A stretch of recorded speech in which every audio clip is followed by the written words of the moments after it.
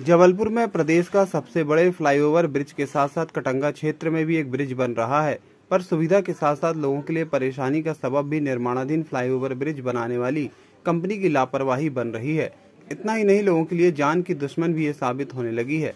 हाल ही में एक CCTV video सामने आया है, जहाँ पर की सड़क किनारे बाइक में बैठकर जा रहे बाइक सवार के ऊपर ब्रिज के निर्माण में लगी सीट जो कि बीच में खड़ी हुई थी, वो गिर गई। घटना में एक बुज़ुर्ग महिला और एक बाइक सवार सीट में दबकर नीचे गिर गए। अच्छी बात यह थी कि बाइक के पीछे कोई बड़ा वाहन नहीं आ रहा था, नहीं तो बड़ी घटना हो सकती थी। मामला उनतीस मार्च की शाम का है, जिसका कि सीसीटीवी फुटेज भी सामने आया है। वीडियो सामने आने के बाद कलेक्टर दीपक सक्सेना ने कंपनी को निर्देश दिए हैं कि निर्माण में सावधानी बरती जाए ताकि दोबारा ऐसा ना हो। आप सही कह रहे हैं, मैंने इसको पढ़ा था और मैंने संबंधित अधिकारियों को कहा है कि भाई, इस तरह की चीज़ें नहीं होना चाहिए। आपको सिक्योरिटी के पूरे के पूरे इंतज़ाम रखना चाहिए। क्योंकि छोटा सा भी पार्ट यदि कोई गिरता है वो खुशकिस्मत थी, महिला की कुछ खास उनको चोट नहीं आई, नहीं तो बड़ी घटना भी हो सकती थी। कोई छोटी चीज़ भी गिर जाती है यदि गलत जगह पे लग गई तो आपको दिक्कत हो सकती इसलिए हमारी सिक्योरिटी जो है फुल प्रूफ होना चाहिए।